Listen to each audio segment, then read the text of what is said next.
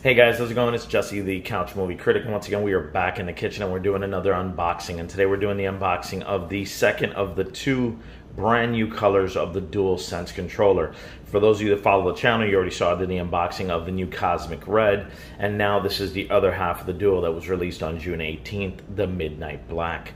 Um, for those of you that know and follow the channel, know that I love all things Sony, um, and I decided, honestly, I wasn't really even thinking about getting the black, but I said, you know what, I'm going to do it just so I can do an unboxing for you guys.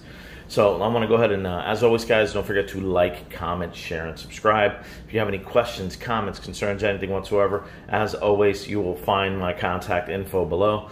And uh, let's get to it. All right, so here we go. So we start on the front. Same packaging as all of the other remotes. The only thing that changes is the actual image of the remote itself or the controller itself. PlayStation logo up here, Sony on the left. DualSense wireless controller for the PS5. Same white and blue trim that we've seen. Same basic black PS logo. Contents including the model number, which is a CF1ZZ ZCT1W, DualSense wireless controller in the midnight black, and the instruction manuals. On the back, it's got the exact same artwork we found on the white one and released, same artwork that was on the um, Cosmic Red, heighten your senses, discover a deep, highly immersive gaming experience that brings the action to life in the palm of your hands.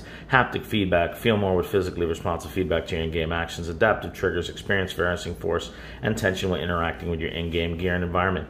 Built-in microphone, chat online with friends. Signature comfort, enjoy an intuitive design featuring enhanced sticks and touchpad. Opposite side of the box is identical. Top is the standard blue top that we're seeing with all the PS5. Bottom is the barcode, Sony Interactive Entertainment, and then the standard warnings and the printing guide bar. Let's go ahead, let's grab our little trusty Cuisinart knife.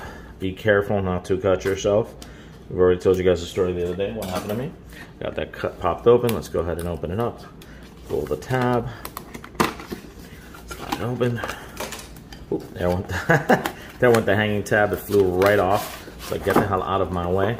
Inside, same as always, really colorful outside box, really dense hard cardboard box inside to protect it. Let's go ahead and just pop it open. Boom, there we go. Slide it this way. And just like the other controllers, basic, really nice thick little foam plastic baggy thing.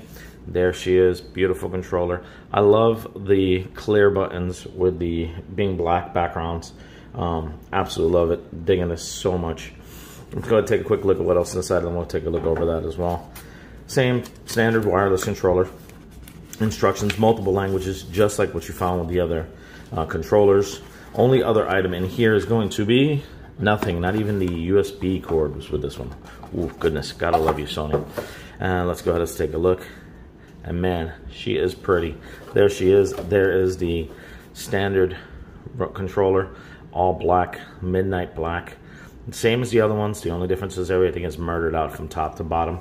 You know, it's funny from the pictures, it almost looks like this is more of a, a navy, but seeing in real life, it is a black on black. It is really, really just cool. It's like a Nemesis, um, Nemesis Prime version of the standard PS5 remote. Kind of more in line with what you're used to seeing with the PlayStation 4 and the PlayStation 3. Uh, everything's on there, standard back, and boom, there you go. Well, there you go, guys. That's everything. Simple, neat, easy. As always, don't forget to like, comment, share, subscribe, and thanks for watching.